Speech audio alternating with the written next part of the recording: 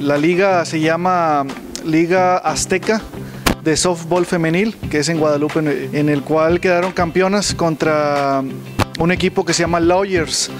Eh, se ganó 4 a 1.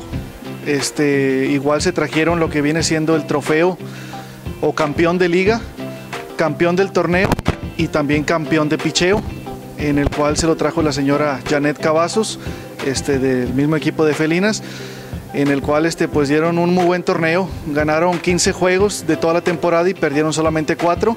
Este, son unos dignos representantes aquí del municipio de Allende. Ahí lo que viene siendo la, la, dirección de deportes de aquí del municipio, este, pues las apoyamos con transporte,